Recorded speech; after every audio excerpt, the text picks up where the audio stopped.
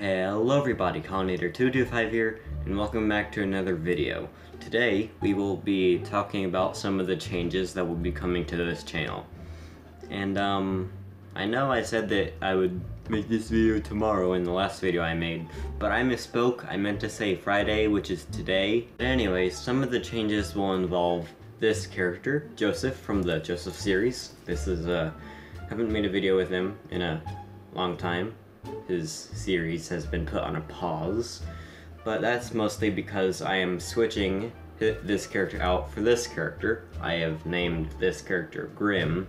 I will be swapping their personalities, so um, uh, he will be he will now be the main character of the Joseph series, which is now called the Grim series because I have no other name for it.